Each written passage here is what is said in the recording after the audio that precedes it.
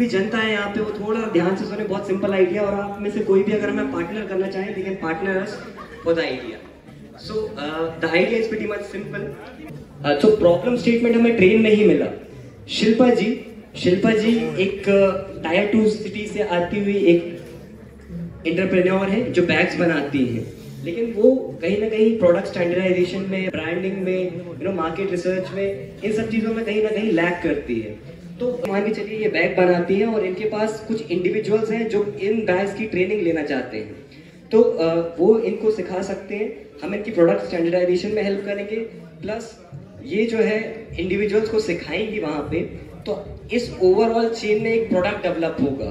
वो प्रोडक्ट को then again on phase two we would provide a market for the product B to B sales में। और हम इसे कॉर्पोरेट्स में पिच करेंगे हम इसे you know bulk wholesale orders में पिच करेंगे. So it's a win win situation for NGOs also it's a win win situation for mentors also it's a win win situation for us also क्योंकि हम revenue जो है वो, corporate से और पूरे स्ट्रीम uh, से चैनलाइज करेंगे.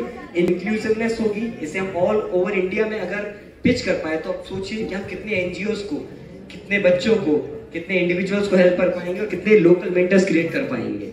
सो uh, अब मैं यूएसपी जो है इसके बारे में one is we are enabling the community peer learning because आज भी हम जब कम्युनिटी में गए थे they were quite reluctant to even share their name because we were the outsiders so अगर कोई community member he as a role model act करता है तो that could be an ideal case in the peer learning fashion so through peer learning we would be enabling this empowerment the second thing is product standardization so that we are not uh, compromising on the quality of the product but it is being delivered. And lastly we are uh, working with into B2B marketplace